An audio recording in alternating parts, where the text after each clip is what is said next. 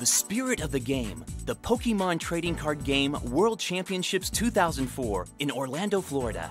I want to welcome you to the 2004 World Championships. Congratulations to all of you and thank you for coming. Close to 300 kids from more than 25 countries, everywhere from Asia to Scandinavia, gathered at an Orlando resort to compete for the title of Pokemon Trading Card Game World Champion. Two days of intense competition, along with top notch sportsmanship, determined Pokemon Trading Card Game champions. The annual invitation only event was not only a showdown for top Pokemon trading card game players around the world, it was an opportunity for them to learn new skills, make friends, and share common interests, while at the same time playing a game loved by so many people around the world. Players earned invitations to the World Championships throughout the year by competing in local and regional championship series tournaments, qualifier tournaments, and through overall top rankings by age group.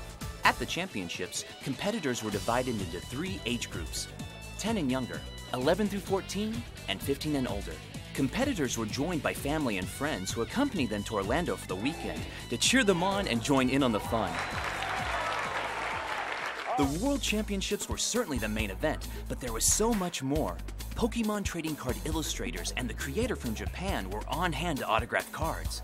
There were loads of Pokemon video games to enjoy, plus, everyone had the opportunity to play the latest trading card game in a special pre release tournament. Some of the top placing winners hailed from Japan, the United States, and Canada. All stars from the US included Reed Weichler and Kevin Nguyen of California, and Chris Fulop of Ohio. Prizes included scholarship awards ranging from 1,000 to $7,500, trophies, and invitations to next year's competition. Want to be part of the excitement of Pokemon organized play? Visit our website at op.pokemon-tcg.com to find out how you can get in on the fun in your hometown.